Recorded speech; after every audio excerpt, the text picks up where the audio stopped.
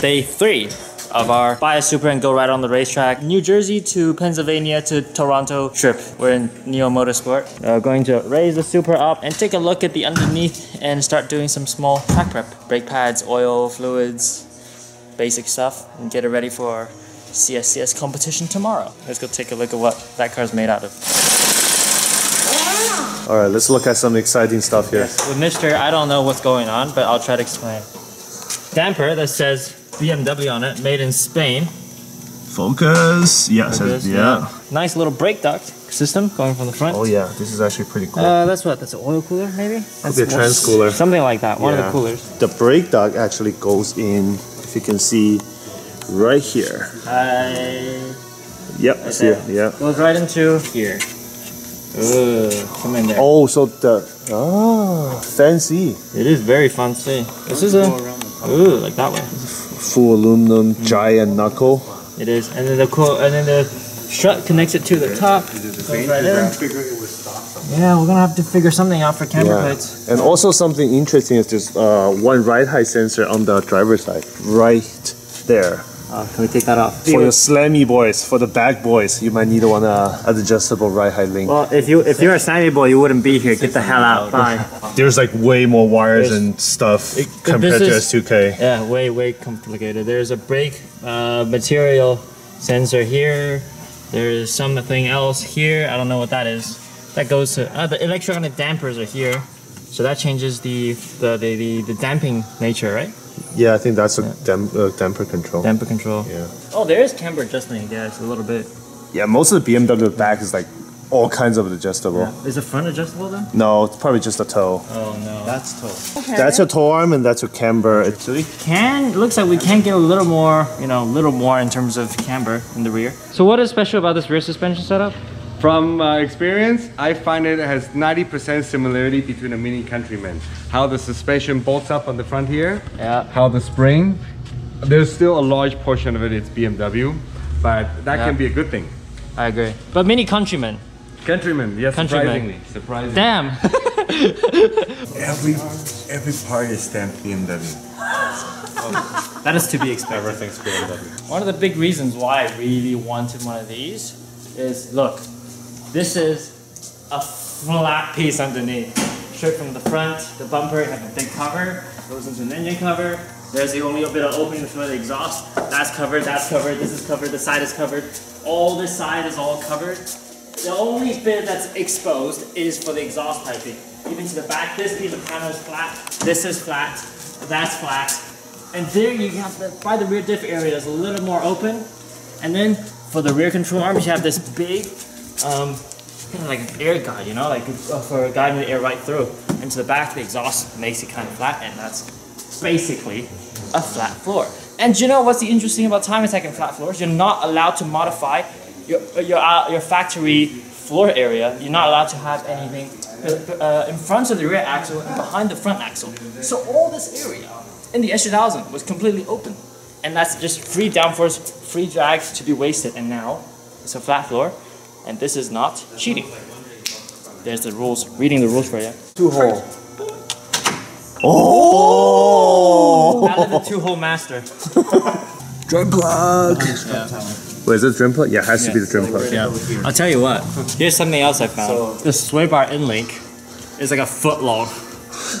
it's actually a foot long all the way up there. It's longer than your arm. It it is it is like longer. Than, it, it- look, it's, about actually the same length the length your of my forearm. forearm. hey, Bach, please help. We need sway bars. Thank you. We do have an aluminum front subframe as well. It's pretty pretty crazy. This whole piece, all the way across, it's all aluminum. It's pretty freaking awesome. So very interestingly, this isn't the floor. The floor is like like this much deeper up. So if inevitably I go off, this will save the car. Thank you, Toyota, for thinking of somebody who will full send the car. I Probably should appreciate send, it. thank BMW first. Shut up, Alex. Thanks. Rolling. Ooh. This is very professional. All the new cars already drink that. It's like it's like it's like a lemon tea. Zero W water. Zero W. This is too good. We're just touch everything we see. Like there, there are some things that are, you know I'm okay on, but there are others that I look at like holy cow, this is really good. Yeah, Toyota actually left a lot of like Easter egg here and there for tuners to work on. Or Let's put it that BMW. way. Yeah. Either way, but this is got potential, that's for sure. Alex, wanna walk us through the engine bay? Yeah, so it's pretty standard BMW B58. Does nothing looks super special. So Yeah, that, that just looks like a general yeah, that's like without the. Wow, this piece of plastic is actually heavy. really. This is like three pounds. Oh shit, the bed. I know. Holy This Holy is not three pounds. This, This is like, five pounds. Holy shit. all right. that's All right, let's go. Let's go. go in the bin. yeah That's in the bin. This cooling panel, like if you know on the S2000, you have a cooling panel.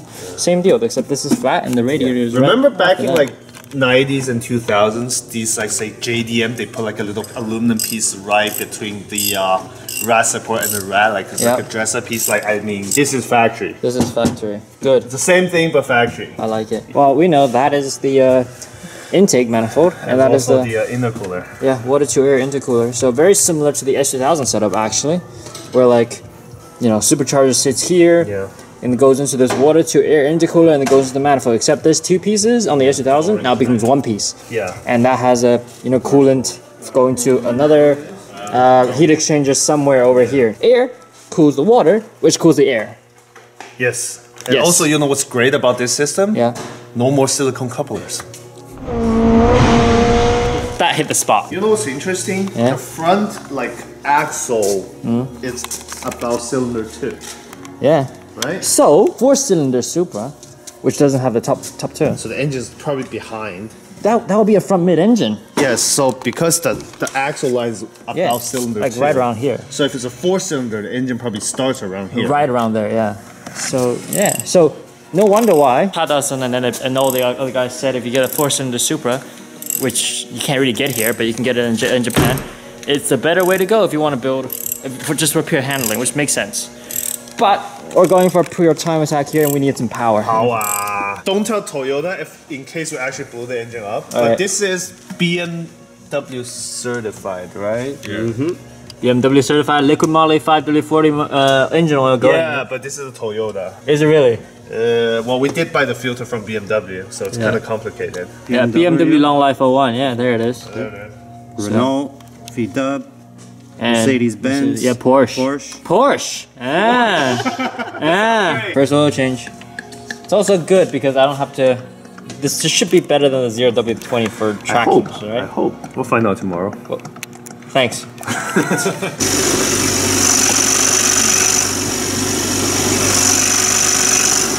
Damn. wow.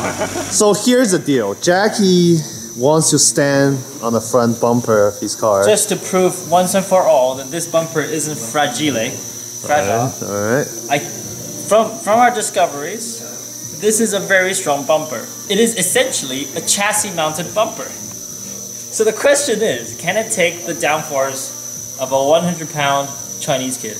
Your car. It's slippery though. So Your car. Oh shit! Oh wow. I worry about lifting. Lift, well, No, no, no, you won't. okay. Wow. Oh. That is a pass. That is a pass. It has officially passed. Well, it hasn't quite passed the real Jackie thing bumper test, but. Big thanks to the guys at CSG Counter Space Garage for providing us with these really, really nice uh, track and street hybrid pad that we'll be using for the Supra in the foreseeable future. Uh, these fit the OEM calipers, so just direct bolt-on fit. And uh, this is, I think they said the same compound that they use for Porsche GT3s, like a track car on a Cup 2, so on and so forth. So something like this should be perfect for what we're doing here. 212 wear street tires, it's gonna be pretty awesome. Honestly, I just don't mind his car. No air gap for the OE pads. Oh yeah. Drove too hard. Drove too hard. Car was fast on the straight, so you gotta lean on the brakes a little. So first things first, you always gotta do brakes. So shout out to CSG for coming in it's clutch for us. Uh, actually, anybody who wants, I think CSG has a code, coupon code, uh, offer for all of you viewers. Just the code JD86. Pretty sure it's a pretty good discount, and they said not to tell you this, but it works on literally everything in their store. JD86 code for CSG, Counter Space Garage. Go right for it, dude. Ooh. Ooh. Yeah. That's why Jackie was like, I want to wrap, wrap the car white. I was like, don't. It's gonna look cheap. It does. This is an interesting experiment. We're gonna see if the rear wheels can fit on the front. The hub size should be the same, I think. Oh, unless it's, it's, it's 2000. Yeah, it's, yeah. Or NSX. It's like, Yeah. The dimension wise on this is what 19 by 10 plus 40, I think. 'Cause it's just touching at the very bottom, Yeah. like right there. Yeah, it was coil It's over, tires. Yeah. and the camber plate. This, camber this is going to fit. It will work. so we need coil over. We'll need hit coil over and a bit of camber and it'll fit. Yes. Damn, bro, this will work. Bro, what So if this I is- can find you two wheels for tomorrow? Yo, we got a fucking squared art. Let's fucking do it. This is 275, 35, ZR19 on the front of the Supra with a 15 mil spacer from Neo. Thank you. Um, honestly, a little bit, but it's not on the ground yet. If 19 by 10 plus 25 will fit, then whatever we have coming will fit too. We just we might need a spacer spacer it out a little bit so it clears the strut.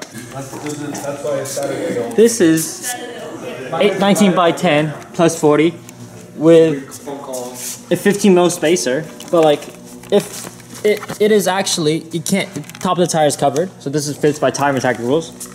The front pokes a little bit, but we can add more to camber once the coilovers and stuff come in. It's, it works. This is, yo, what, 19 by 10 plus 25. Yeah, It's pretty aggressive with 275. with 275 tires, but it works. This is factory. You know, this is 19 by 10 plus 25. I, I quite like it with a degree of camber, with a little more camber. Honestly, it's not fully on the ground yet. Yeah, it's not so fully on the ground, Even so- just like you let the car settle Yep. a little, still gonna go in. Yep, I like it. All right, thanks. All right. So that's the end to a very, very busy uh, day three at uh, Toronto. Uh, thank you to the guys of Neo Motorsport for helping us out. Uh, the boss was bleeding my my brakes. uh, hopefully they'll come on board to with us as a future uh, partner. Um, they're awesome. Um, car's great. Uh, new oil, new filter, new pads, and new fluids for the brakes. Um, yeah, I think it's pretty ready. We learned a lot about the new car, a lot of development plans, a lot of things that maybe it needs a little more, especially in the brakes department, I think. But there's a lot of potential, and I think it's really, really good. Um, now that we've, you know, not only driven it on the track, we've kind of taken apart some of that outside edge so we know how exactly how it works. There's a lot that could be done with this car, and I can't wait to see what both Alex, myself, Fiona, PhD Racing, and our, all of our partners, CSG, and uh, maybe Neo in the future, will be able to come up with together. That'll be it from us. Thank you all very much for watching. See you tomorrow at CSCS.